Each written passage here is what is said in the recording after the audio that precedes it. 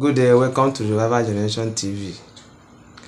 Today's video is talking about enlarging your coast. You, I want to talk to you about courage according to Nelson Mandela.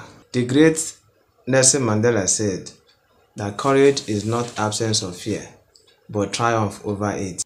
He continues and says that the brave man is not he who does not feel afraid, but he who conquers that fear. Look at the faces of your fears, challenges, and worries. Get understanding from the scripture that addresses such situation. Remember, they said, understanding will make you outstanding. Believe it, act it, do it, live it, and make it part of you. Apply your faith, but remember, faith without work is dead. May the Lord bless you and enlarge your coast. In Jesus' name. Please help us to subscribe, share this message, and drop comment on the comment section below. May the Lord bless you. Give us that scripture. Verse 10. The Bible says, and God, and God granted him that which he requested. God granted him not that which he has been admiring in others, not that which he, he wants passively. I know it, but it's just between me and God. Blind Bartimaeus said, Thou son of David, I don't care who else is hearing it. Have mercy on me. And the people said, Keep quiet. You are the one who knows the hurt. You are the one who knows what lack of employment has done to you you are the one who you you know it's always it's often said that the person wearing the shoes is the one who knows where it is hurting. So when it's time to pray don't just stand and be organized and say well i i know i, I don't want people to see me. Let camera not pass me. You have to deal with certain things once and for all. This spirit of death that i'm always seeing in my dreams tonight is the time to deal with it. I, I, I reject untimely death. But just say no it will not come. That is a joke. You are going to have to place aggression this door that opens for others but just when it gets to me that door closes. Somebody was supposed to sign something on your table and just because he turned to discuss a wind just pushed all the files and they can't find it again. And that becomes fine what kind of satanic thing is that? And you are here keeping quiet and he said does not matter he will find it one day. The same wind that pushed it must push it back. Was it not the east wind that blew that Abba? Listen I'm, I'm planting a holy anger in you. Father you gave me five children. The devil is already taking two. I assure you satan's plan is not to take two. Is to take all. He took one and you kept quiet. The bible says in the early church watch this the book of acts when satan took james and the church kept quiet they didn't do anything about it. He said ah the bible says he proceeded further and he now took peter and the church said no more. The bible says the church gathered together and began to pray. The same angels that rescued peter were still there when james was dying. But because there was silence and they did not pray the same angels that would deliver your family today they've always been there. It's just that you've not given it the kind of aggression hallelujah. Listen. Let me tell you something. Someone once asked me a question. And said apostle what does it take to build a global ministry like this? And i looked at him with compassion. I said which part of the answer now am i going to give this person? One of it is a testimony in the spirit that you have mastered the art of keeping evil forces at bay when physical victory manifests is because that victory has been established in the spirit. Please hear me. It is not when your job manifests that God answered you. When you deal with it in the realm of the spirit and is finished you will find out that you can wake up in the morning. That's why you see people come for service and sometimes they are ministered to. There are a few people who may walk back. Maybe they, their healing has started and they did not feel anything you know and they may feel disappointed you hear them testify that they went home and slept and woke up because once it is done in the realm of the spirit that is it Goliath died in the realm of the spirit David killed Goliath before he met him there. And he said, Mr. Man, you are standing just as a mass of interruption. I'm going to bring you down even with a stone. So when we are going to pray now, please, I want you to pray with seriousness. There are things that you wrote. There are sicknesses in your body. Can I tell you, we are in the days where headache can become cancer thanks to demons. You will feel a little headache, something that you will just say, ah, it's paining me. The next time the pain goes to this side, then it goes to another place unconnected. I'm not a doctor, but you will know this is a demon spirit. You hear people telling you there's something roaming around my body. Have you heard people say that? It starts from my head. You know how hard it is to move around your body. Even God had to put veins and arteries. And here is a demon spirit walking around freely until you stop it by the power of the Holy Ghost. How about businesses that are going down? From January, your business has been going down and you've just been watching it. Thank God for principles. Listen, we are people of principles and we're intelligent people, but we're people who place superior honor to the realm of the spirit. The physical realm is a child, a slave, helpless slave to the realm of the spirit. If you do not deal with things spiritually, whatever effort you are making physically is a total waste of time. I assure you. If you're a ministry here as a man of God, it is not just by invitation, poster, social media. Those are physical things and they are profitable. The real victory is in the realm of the spirit. Apostle, why is it that people do not like me? I'm a sincere person. Every time someone wants to help me, they seem to forget. You think they make themselves forget? There are wicked spirits. What do you think made the wine presser to forget Joseph? And added two more years one man's forgetfulness added another man's pain. Hallelujah. How about someone who just received some money that should bless the family and wipe their tears and all of a sudden three people went down somebody needs a surgery five million. Another person needs a surgery eight million. Another person has a mysterious sickness that we must fly the person to uk to check. You calculate everything is the exact same money you collected.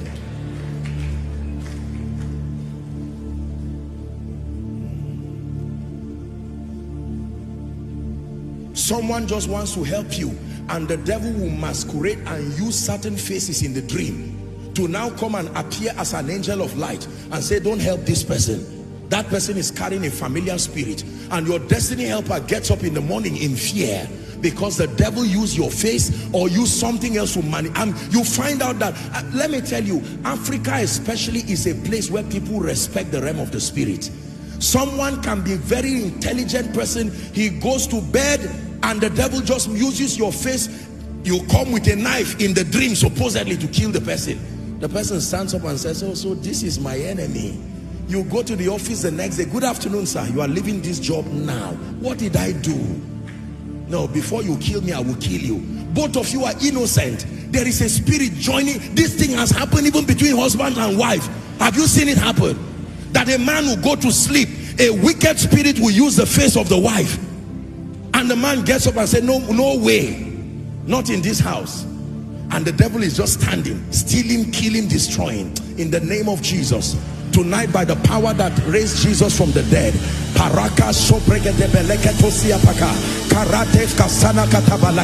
in the name of jesus christ every spirit masquerading through situations and circumstances to abort the glory of god in your life goes down this night.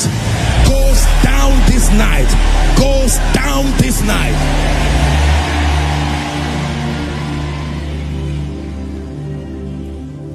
The same way the Lord can make it happen that someone goes to bed and suddenly he has a dream and it's about you and the person is thirsty and you are bringing water. The person gets up in the morning and says, you, you got a job in this company when? Two weeks ago, come. You are promoted to my PA. What happened? I had a dream oh, and I saw you giving me water. And in my mind, I interpret it to mean you're a good person. Ah, life. Do you know, I really feel sorry for people who downplay the realm of the spirit. I'm a person of principles. There are, it's not all about just demons and the realm of the spirit, but let me tell you, in order of priority, the physical realm came as the child of the realm of the spirit. That means for anything physical, it is only the after effect of something that has been settled in the spirit. Do you know a true story and then we'll begin to pray. One time the Lord opened my eyes and I saw something. I saw someone who in the realm of the spirit, he had already died. But in the physical, he was still walking. He was still alive. But in the realm of the spirit, like this person has been buried in a coffin over. Now that person will be walking, yet not knowing that you've been finished. Anything can kill you, including a bike. You just see that a bike passed and just hit someone and he fell down and they say both bones broke. Someone fell, children go to pluck mango from a tree. They fall from that tree and clean themselves and stand up and climb again and yet someone just fell from a bike and both of his bones you think that is just a fall listen we are god gave us a mind to think but let's be careful so that we do not allow the devil cheat us by just folding our arms. When you see evil call it for what it is and deal with it by the blood. Ah, what is this pain that i'm having? Mysterious pain. And the devil says cancer like it happened to your father, like it happened to this, and said, No, it will not happen to me. I went to school. That's not how the realm of the spirit works. You stand there. Listen, there is a way you open fire at the devil, huh? You have drawn a line. Anything you permit will grow. Hear me. Anything you permit will grow. You permit failure it grows. You permit the spirit of death. It takes one step towards your house. You turn back. In the name of jesus christ. This is how believers are taught to maintain victory.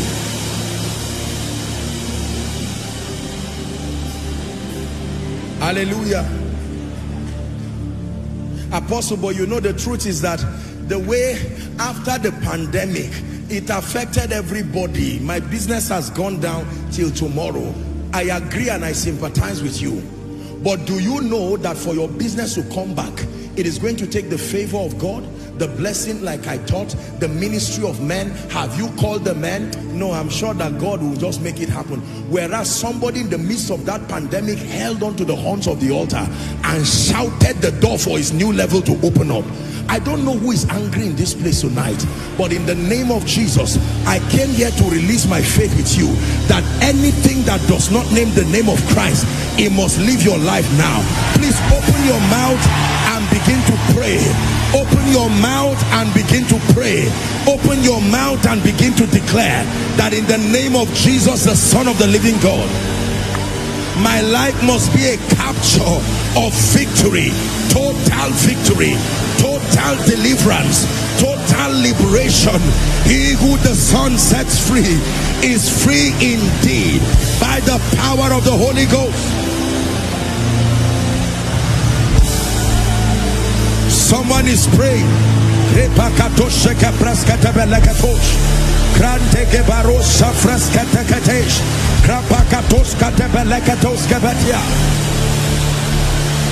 Every mysterious sickness roaming around my body, I curse you by the God of heaven. Spirit of death, I call you by your name and I banish you from my life,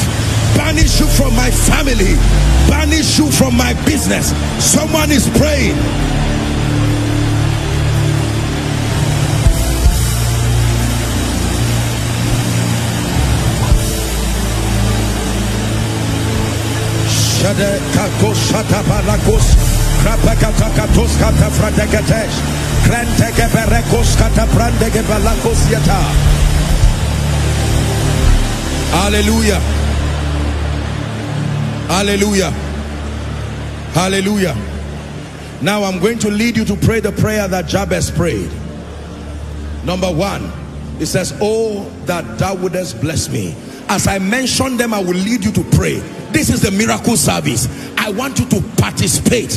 If you want to hold hands with someone to encourage you, that is, you, you can do that. But by all means, any spirit of slumber that wants you to sleep or just fold your arms and watch people is cheating you Say in the name of Jesus. Father, I decree and declare that by mercy let your blessing rest upon me. Let your blessing rest upon me. Rest upon my family. Open your mouth and begin to pray.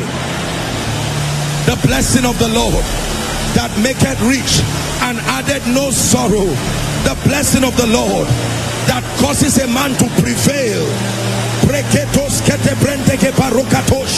Oh that thou wouldest bless me. Bless me. Bless me. I activate the blessing upon my life. I activate the blessing I decree and declare blessed in the city, blessed in the country, blessed in Abuja, blessed in Lagos, blessed in the United Kingdom, blessed in South Africa, blessed in the United States. In the name of Jesus, man of God, pray. Pray the blessing of the Lord. Pray it upon your spirit. Pray it upon your children. Now pray it upon the works of your hands. Blessed shall thou be in the city. Blessed shall thou be in the country. Blessed shall be your kneading trough.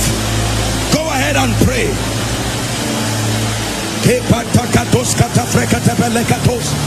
Outside, make sure you are praying. All the overflows, make sure you are praying. In the name of Jesus, blessing is upon me. The blessing is upon me. The blessing is upon me.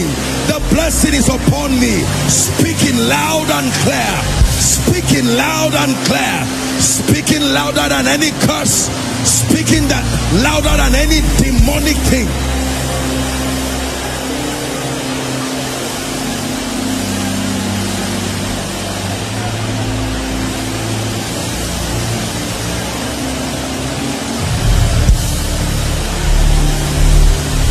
One more minute, you are praying.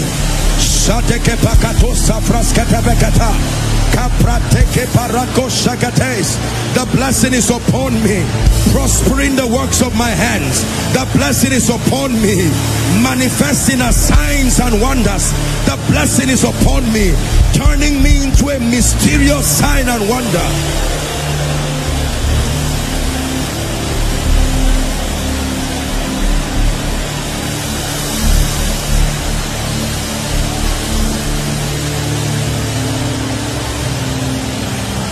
Blessing is upon me. Someone pray. Shaleke peketos kata frendeke barusiata. Embrakato kapreskate peketos. Sobontos shodoba leketos. Ibratos sevezekete belekatos yata. For in Jesus' name we pray. For in Jesus' name we pray. I tell you, things are shifting in the spirit. Now, watch this.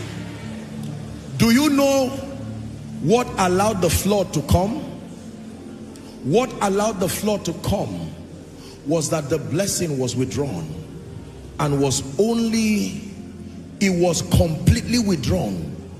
And that was the only possibility for the flood to come. So when the flood was over, watch this now when the flood was over the flood of Noah now remember? Everything and everyone except Noah his wife the three sons and their wives and the animals that were in the ark. Am I right on that? These were the only things that were alive. You find that Noah came out and then Noah reared an altar. You find that in Genesis chapter 8 and verse 21 and 22 he, he carried some of the animals that were left some of the animals came two by two. Some of the animals came seven by seven. You will see that even some that were left, Noah still slaughtered them and they died. But watch what happened.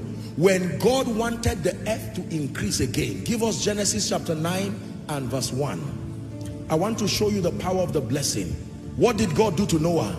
Same thing he did to Adam. You see, and God blessed Noah and his sons and said unto them, be fruitful does that sound like something he had said before? Multiply. That means every time God sees small things, what he does to increase them is to make this same thing. Keep this scripture there because this is going to be your prayer. That means in God's mind, what it means to be blessed is to be fruitful.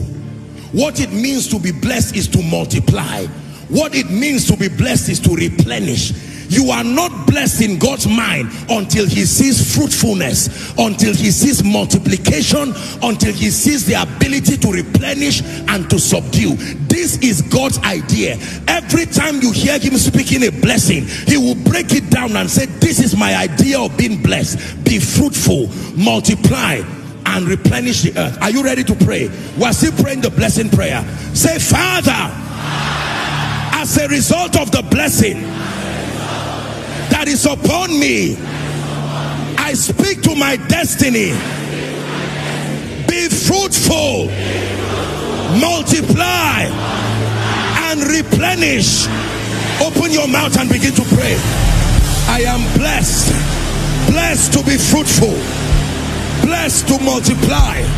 Nothing remains small in my life by the Spirit of God. And God bless Noah and his sons. And God bless Koinonia and all those connected to her by prophecy. And God bless Noah and his sons. And God bless Noah and his sons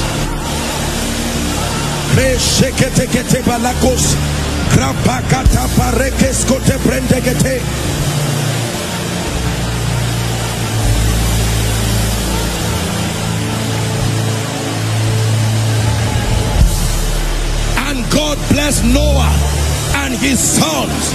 You can call the name of your children. You can call the name of every company, everyone who is under your care. Declare upon them, be fruitful, multiply, be fruitful, multiply, replenish.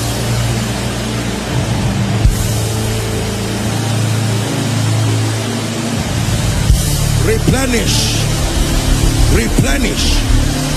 Replenish.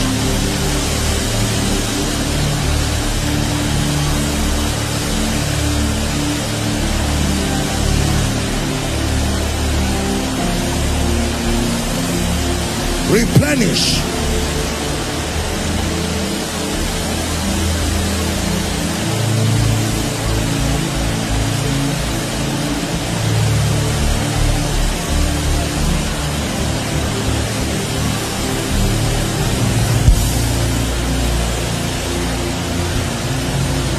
Hallelujah. Hallelujah. Let's go to the next prayer. I'm telling you something is shifting in your life. He said, Oh, that thou wouldest bless me and enlarge my coast. You want to understand this? Let's go to Isaiah 54 from verse 1 and 3. Sing, O barren, thou that didst not bear break forth into singing and cried aloud thou that did not travail with child. He said for more are the children of the desolate than the children of the married wife said the lord. Verse 2 it says enlarge the place of thy tent and let them stretch forth the curtain of thy habitation. Spare not and lengthen thy cord and strengthen thy stakes. Why? Verse 3 hallelujah. For thou shalt break forth on the right hand and on the left and thy seed shall inherit the gentiles and make the desolate cities to be inhabited. Look at me. Do you know what it means to be enlarged? To be enlarged means to grow. That's how we grow. Is that true? We grow through enlargement there are people who respectfully speaking I got to find out a few cases where some people remain children even in their as adults. You still see them like children like babies. It's a medical condition that people remain literally you look at them their face nothing changes. There is no growth. There is no enlargement. Yet some of them are 25 30 years and they are still they have the voice of children everything around them and when we talk of enlargement, we're not just talking of physical growth, financial growth, spiritual growth. the level of grace you've been functioning on for 10 years is still the same. The level of favor is still the same. Did the Bible not say grace and peace can be multiplied? Are you ready to pray that prayer of enlargement? That Father, I'm tired of being at this level for a long time. Enlarge me. Open your mouth and begin to pray. Spiritually, this level of my prayer life, this level of my word study life, someone is praying, enlarge me by the Spirit of the living God. Enlarge me in ministry. Enlarge me. Shapakato parakato Krasagata Embrakato shavrandes kalebash Enlarge my coast. Enlarge my coast. Enlarge my coast. Enlarge koinonia. Enlarge koinonia. Enlarge my spiritual life. Enlarge every aspect of my life. In the name of jesus christ.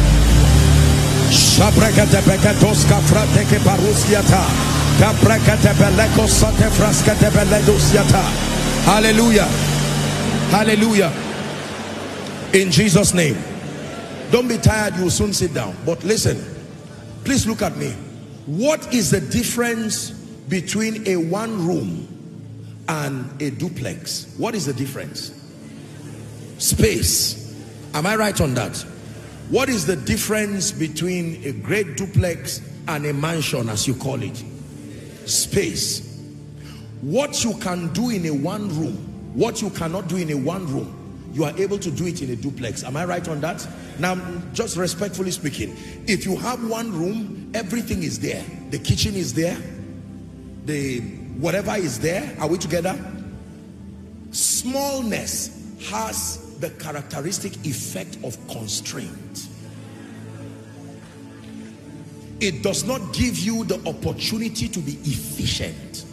Are we together now? So imagine that you move from one room to a two bedroom now you can convert one maybe to be a library one to be a guest room have you seen people now respectfully speaking have you seen, for instance, say a couple, a husband and a wife, and maybe two children, and all they have is one room. You've seen what happens in the night. The father is constrained. Maybe he even has to sleep on a chair for the wife and maybe the children and maybe the little baby. You see that now. Did you not read in your Bible that Solomon was judging a case of two prostitutes where because of the constraint of space, they slept on their visions and one killed they killed their children because of lack of space. Let me tell you enlargement is a blessing. What 10,000 cannot do 1 million can do. Are we together now? Yes. Oh my man needs to be treated and the bill is 200,000 and that innocent woman is about to die because all you have is 10,000 but when God enlarges you, you have more space. You can even be a blessing. What this level of anointing can do, cannot do, this level of anointing can do. Are we together now? Yes. This level of anointing can only lead you to pastor 50 members. Not to insult, but that is what it can do. It cannot bring you a global ministry this way. No. No. You cannot put the tire of a tricycle on a tractor or a, a bulldozer or a lorry. Can that work? But they are all tires. So when you bring that small tire how many of you have seen spare tires of cars that look very small? Because you were not supposed to drive with it for a long time. It's only sufficient to take you to the mechanic you see some of these giant cars and they come with enlarged tires and sometimes when smaller cars are struggling because of the pothole, those cars can come and pass as if they're, they're not even aware. That's what enlargement does. When you are limited, when you are constrained, five children, you are living on 50,000. It's not a blessing, no. Let me tell you the truth. Not in our world today. You are anointed, you pray, you have to pray for one week for headache to go. You can't have a ministry that is flourishing that way. I told you, people don't follow men, they follow results. when you are a man that commands that result it will look like they are following you but what they really follow are results it takes a level of dedication and loyalty and training by God for people to look beyond results and now start following men. Enlarge my coast. Enlarge my... I've prayed this prayer many times. This ministry did not start like this. And this ministry will not remain like this because that grace for enlargement is there. So why is it that your life is remaining that way? One more time, I want you to refuse. Look at every area of your life that has refused to grow and declare, let that anointing for enlargement rest upon it. Open your mouth and pray one last time. Father, enlarge me by the Spirit of the living God. Enlarge me by the Spirit of the living God for the sake of your glory, for the excellency of your name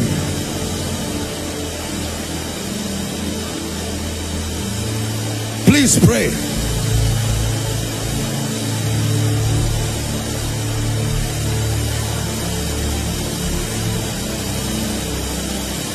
Hallelujah.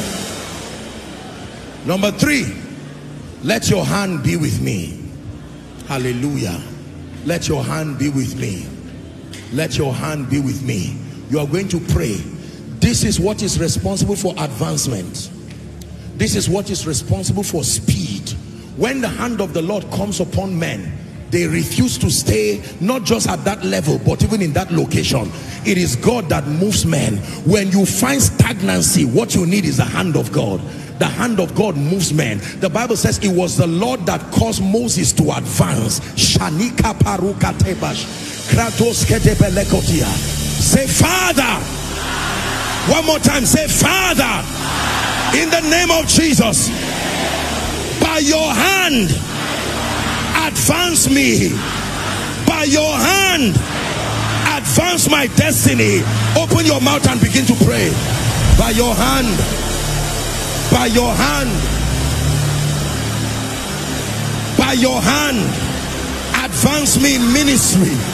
By your hand advance me in every area of life. Someone is praying Sapakatos shada. Kela kata fraskate beketos kete bran. Kali katosha fraska. Emprekete kete frekesegete. Advance me. Advance me by your spirit. Hallelujah. Hallelujah. Hallelujah. And with the last prayer point, it will now lead me to begin to minister as fast as we can. Fire is going to begin to fall in this place now. Give us the last prayer point. Keep me from evil. Listen.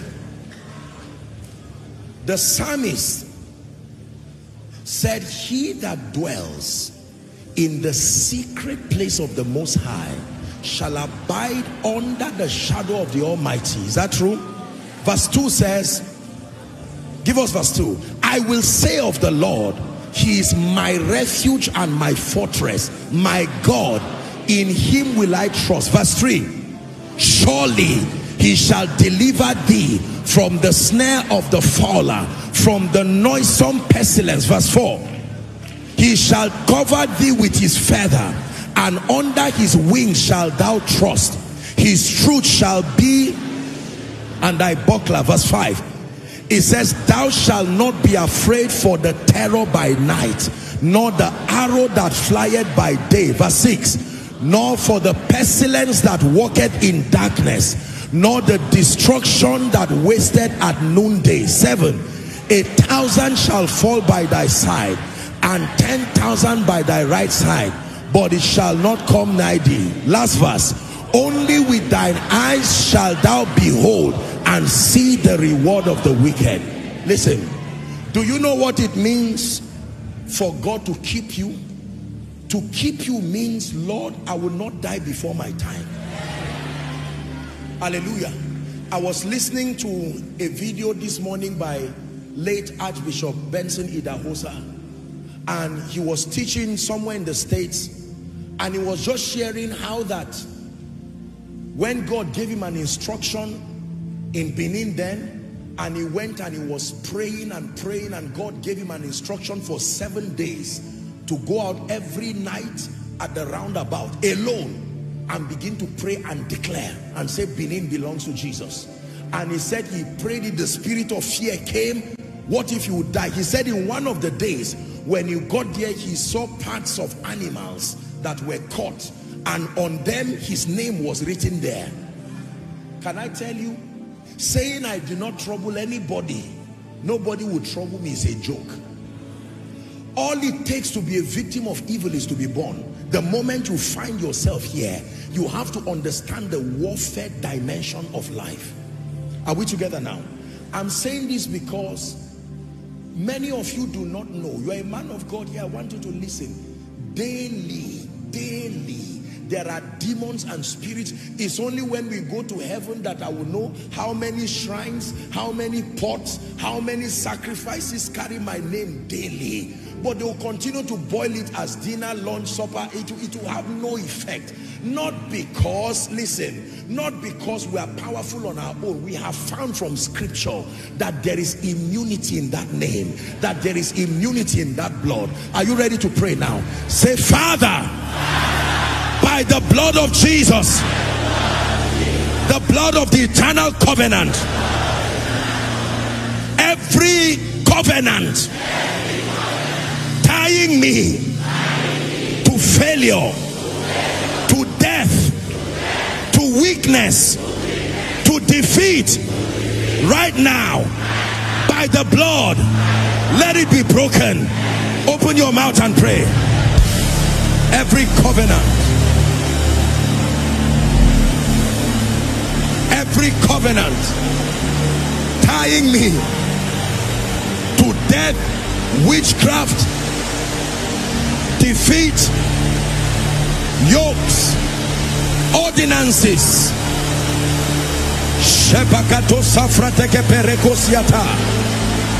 No matter how long be broken no matter how long be broken no matter how long be broken every covenant that says people will not rise that says people will not shine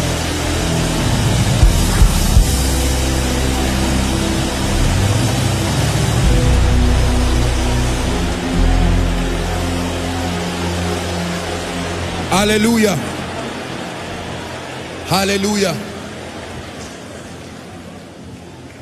Oh be lifted above all other gods. We lay our crown and worship